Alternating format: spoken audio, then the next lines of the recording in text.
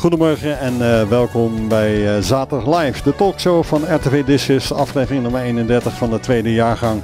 En uh, vandaag gaan we u brengen de actuele en culturele weetjes die Tijn Spuibroek heeft verzameld. De voorstelling Alette Jacobs in de klas, viering van 100 jaar kiesrecht.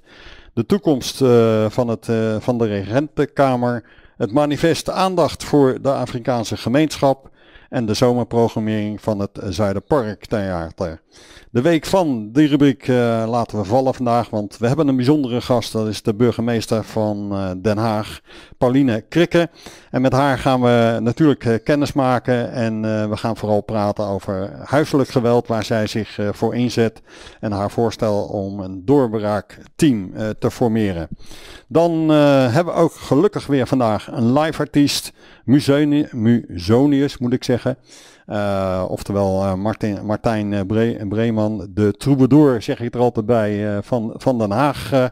hij gaat de onderdelen muzikaal aan elkaar lijmen. Goed, ons eerste onderwerp brengt ons bij Tijn Spijbroek voor de weetjes. Dit is Haaglanden Actueel. Een greep uit de actuele zaken in de regio.